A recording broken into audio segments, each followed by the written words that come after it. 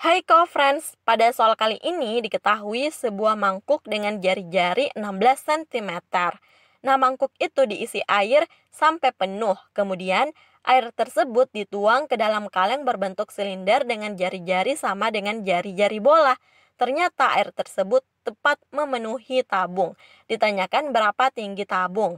Nah, sehingga di sini diketahui setengah bola ya, atau mangkuk setengah bola, bukan setengah lingkaran.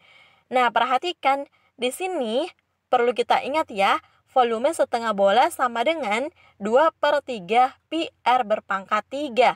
Kemudian volume tabung adalah pi R kuadrat dikali T atau tinggi.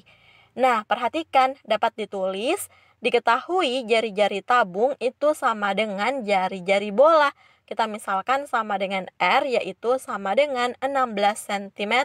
Nah, karena di soal dikatakan mangkok yang diisi air sampai penuh yang dituangkan ke dalam kaleng berbentuk silinder atau tabung, nah di sini ternyata air tersebut tepat memenuhi tabung. Artinya, volume setengah bola sama dengan volume tabung.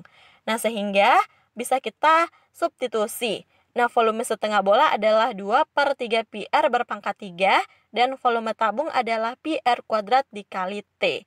Nah, Pi-nya bisa kita bagi sehingga tersisa 2 per 3 R berpangkat 3 sama dengan R berpangkat 2 dikali T. Nah, karena di sini R atau jari-jari tabung dan jari-jari bola sama, maka di sini R-nya bisa kita bagi juga. Nah, sehingga tersisa 2 per 3 R sama dengan T. Sehingga T sama dengan 2 per 3 dikali R. Nah, R-nya adalah 16, sehingga 2 per 3 dikali 16. Kita lakukan perhitungan diperoleh T atau tingginya sama dengan 32 per 3 cm. Nah, sehingga tinggi tabung adalah 32 per 3 cm. Sampai jumpa di pembahasan soal berikutnya.